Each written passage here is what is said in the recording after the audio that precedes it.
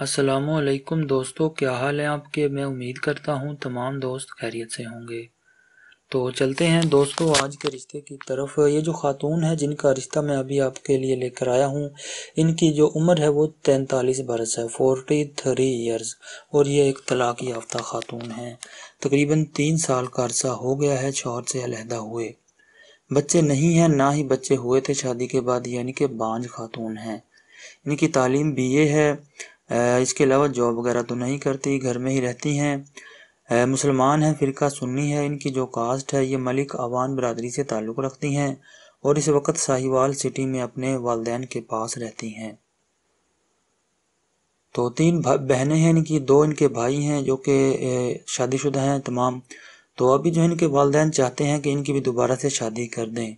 तो वो भाई मर्द हजरात जो इनसे शादी के मामले में सीरियस हों और उम्र जो है उनकी पचास साल तक हो और चाहते हों पहली या दूसरी या तीसरी शादी करना तो वो अपनी तमाम तर तफसीलात के साथ अपना व्हाट्सएप का नंबर वीडियो के नीचे कमेंट बॉक्स में लिख दें। हम बहुत जल्द उनसे रबता कर लेंगे। तो इसी के साथ दोस्तों हमें इजाज़त दें, अल्लाह